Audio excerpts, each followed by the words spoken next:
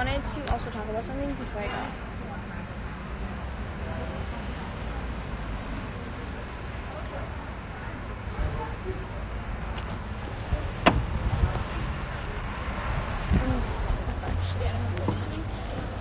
Um, okay.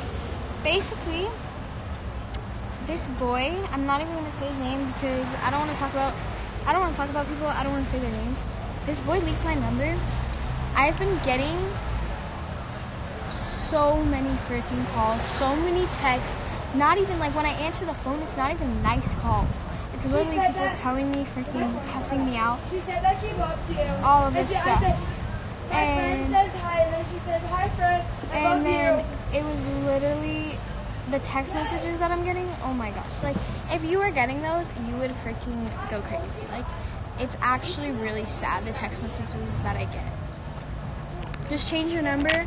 I can't change my number when I'm out of town. Like that's the thing. Like I'm literally not home. Like I don't have time to go and change my number. If I could, I would. But like, it's just so annoying, and literally that's harassment. So if you have my number, please stop calling and texting me. Like out of respect, don't call me, don't text me, especially No, about the situation. Unless I gave you my number personally and we text on the daily and I know you, then maybe yeah, text me. But don't text me and harass me about a situation that I don't even want to be in.